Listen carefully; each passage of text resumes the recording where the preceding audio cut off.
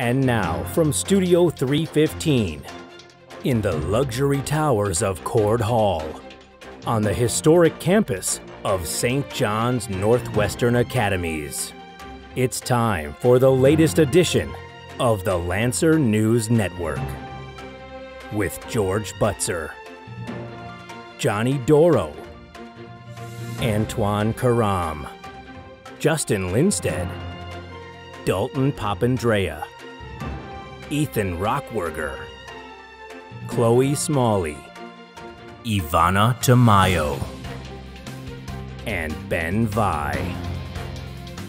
Entertain, unify, inform. This is LNN. Good morning, Lancers. I'm Dalton Papandrea, and this is an LNN update.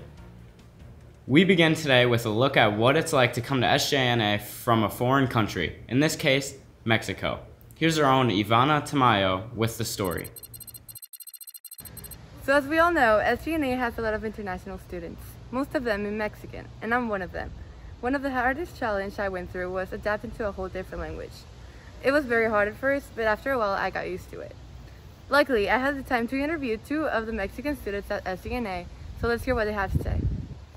¿Cuál fue el reto más grande que afrontaste allá a Estados Unidos? El reto más grande fue vivir básicamente en otro país, afrontar la nueva escuela, el cambio radical, eh, conocer gente nueva y bueno, la, acostumbrarme a lo nuevo, al nuevo entorno. ¿Qué es algo que México tiene y que Estados Unidos no tiene? Este, la mayoría son las tradiciones. ¿Y por qué decidiste venirte a Estados Unidos? Porque siento que era una gran oportunidad para seguir adelante como una como persona.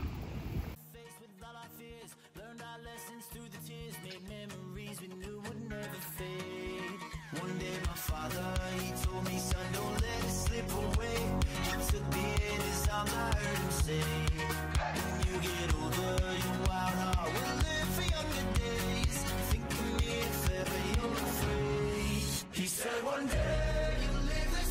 a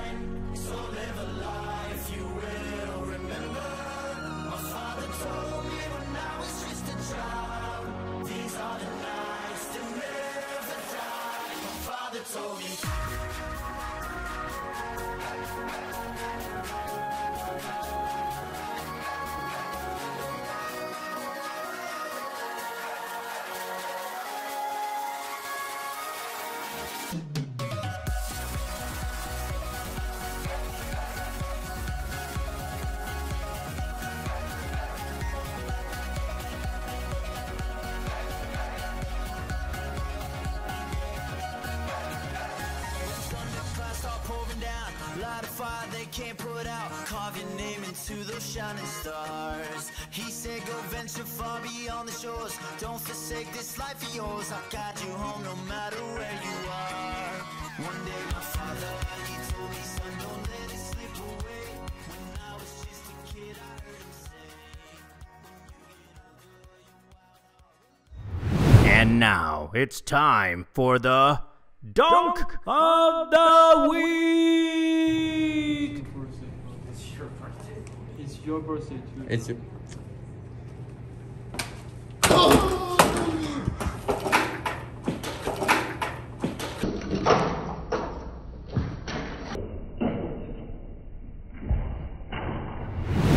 And now from the advancement department. New to the Homecoming and Families Weekend lineup this year is the inaugural SJNA Bags Tournament. Cash prizes will be awarded for first and second places. Invite your friends and family to join in on the fun during Fall Fest on Saturday, October 16th. Spots are limited. For more details and to sign up, visit www.bidpal.net slash SJNA Fall Fest. In sports, our soccer team has been putting up some great numbers this year. Our own Ethan Rockwerger sat down with goalie Johnny Doro about their season. Okay, so Johnny Doro, what position do you play for the Lancer soccer team? Um, I am the varsity goalie. Okay, so could you explain like the progress of like how you became like a goalie and like how it's helped you today? Um, well, I've been playing soccer for like 12 years, and and I got taller at that that I should try because it should be easier, and I've just gotten better over the years and worked. Cool, cool. Okay, so what's the progress of the current state of the Lancer team? Um, we have not lost. We are four wins and then one tie, and we just keep progressing and getting better as a team.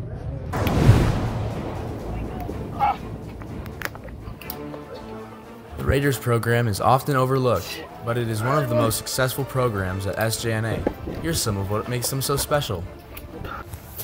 Mainly the training and also the camaraderie you have. We go through hell together, so it's you build a, a lot of good relationships. I think that's the most important part. Making sure that we're showing teamwork, communication. We're 12 kids, not even not even the 12 are competing. We only compete with 8, 10 at most, and we're very small.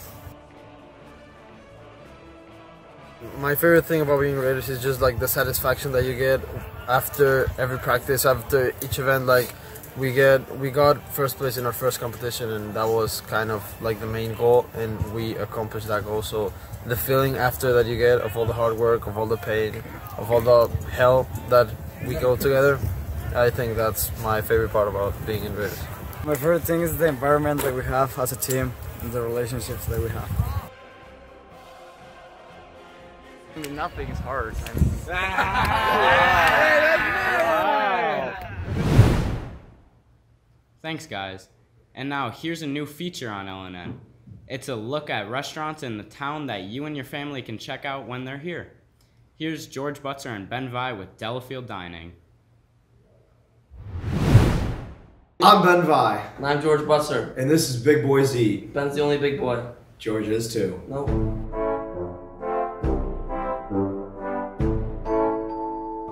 We're checking out restaurants in Delafield for you and your families to visit at and eat at. This week we checked out Revere's, and here's how it went.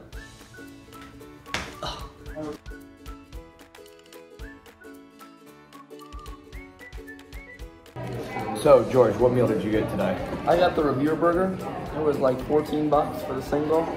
Um, it's really good. It's got bacon. I got some fries, like they're like chive and sour cream fries. Thing goes hard. Then what'd you get?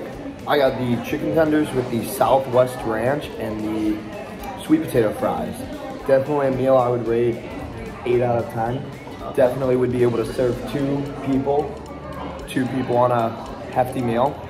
Yep, and I got, I'd rate mine a 9 out of 10. And so far, pretty good. We got the three most popular things on the menu. Mm-hmm. And overall, pretty good. So there you have it, Revere's in Delafield. The overall rating for Revere's was we gave it a generous 9 out of 10. We'll see you in the next episode when we go to Giuseppe's. Giuseppe. Giuseppe. See you then.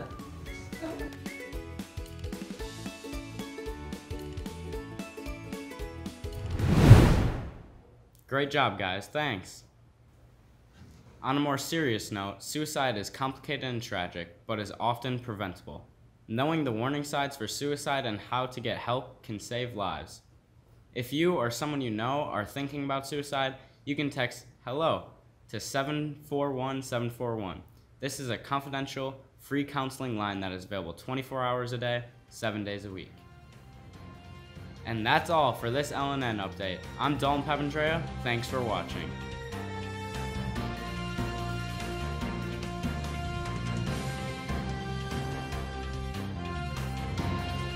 Boom.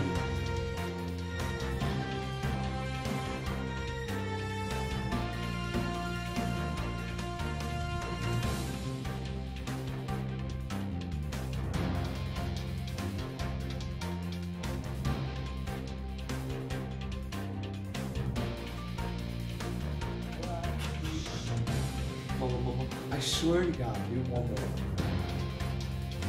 Boom, boom, boom.